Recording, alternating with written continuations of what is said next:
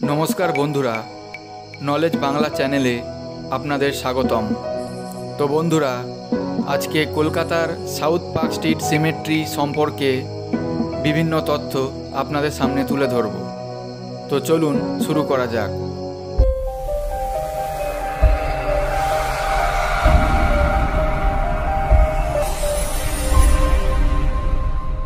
South Park street symmetry হল কলকাতার একটি খ্রিস্টান কবরখানা। এটি মাদার টেরিজা সরণিতে অবস্থিত। মাদার টেরিজা সরণির আদি নাম পার্ক স্ট্রিট।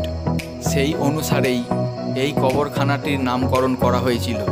এই কবরখানার অবস্থানের জন্য পার্ক স্ট্রিটেরও আদি নাম ছিল Burial Ground Road.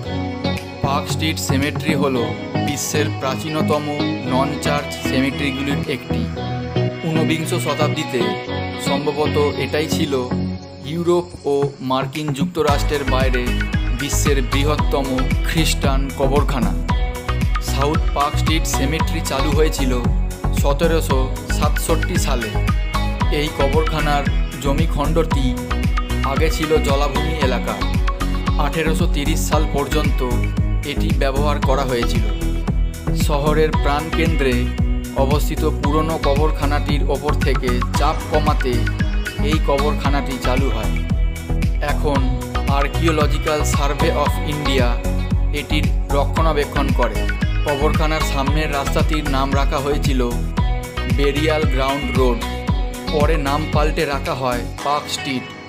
সতেরোশো পঁচাশি সালে কবরখানাটি পার্ক স্ট্রিটের উত্তর অংশ পর্যন্ত প্রসারিত করা হয়।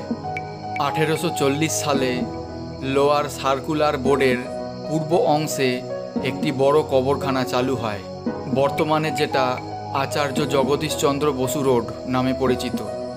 সতেরোশো নব্বই সাল থেকে ইউরোপীয়রা আর এই কবরখানা খুব একটা ব্যবহার করতো না।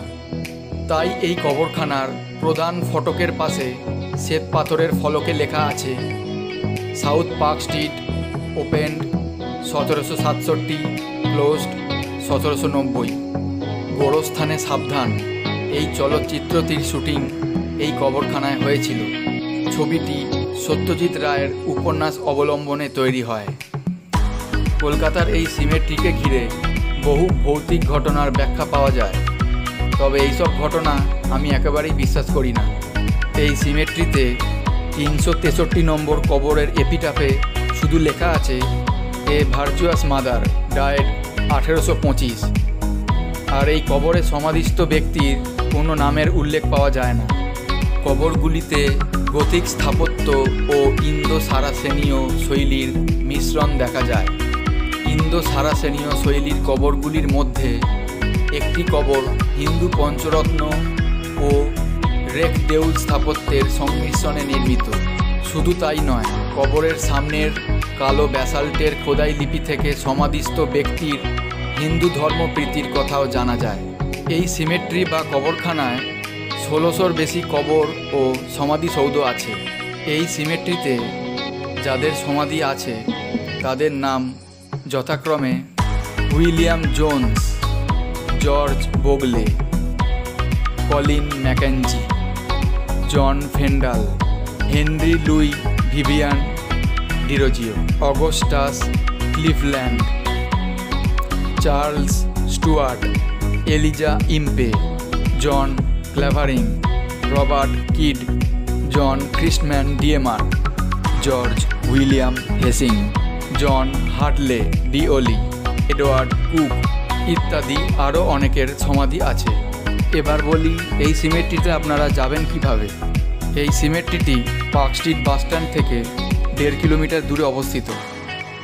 হাওড়া থেকে পার্ক স্ট্রিটগামী যে কোনো বাসে উঠলেই অনায়াসে যেতে পারবেন। এই সিমেট্রি সকাল দশটা থেকে বিকাল পাঁচটা অবধি খোলা থাকে। আর টিকিটের মূল্য মাত্র কুড়ি টাকা। আজকে এখানেই শেষ করলাম। ভিডিওটি কেমন লাগল অবশ্যই জানাবেন। আর যদি ভালো লেগে থাকে, তাহলে লাইক, শেয়ার অবশ্যই করবেন এবং চ্যানেলটি সাবস্ক্রাইব করবেন।